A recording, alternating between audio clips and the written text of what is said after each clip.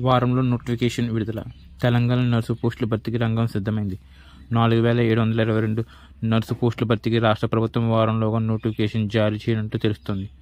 ఇందుకు సంబంధించిన కసరత్తు ఇప్పటికే పూర్తయింది. Medical health service recruitment board ఈ నోటిఫికేషన్ ఇవ్వనుంది.